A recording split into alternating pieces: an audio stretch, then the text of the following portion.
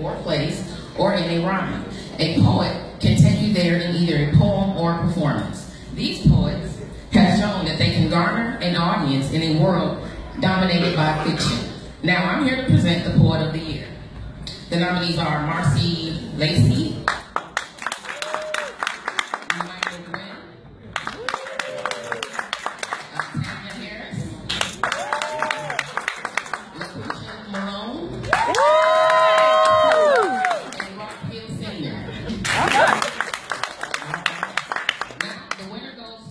goes to LaQueisha Malone.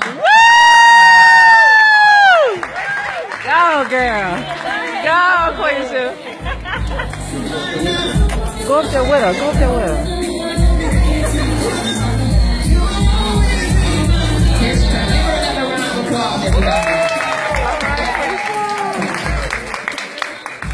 Make sure you get a good picture. Uh-huh, I get a video, honey. I'm gonna get a picture.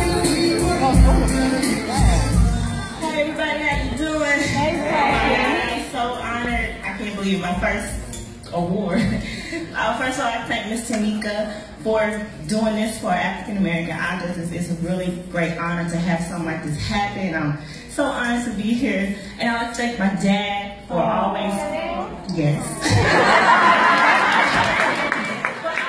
always, always supporting me. And my mom, they're, they're very big supporters of mine, as well as any of my readers and Strawberry Publications and all of my friends. So I thank you guys.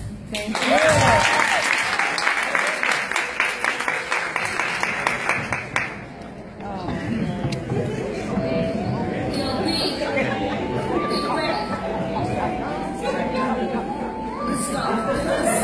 Next coming to the stage, presentation, presentation of the Francis Ray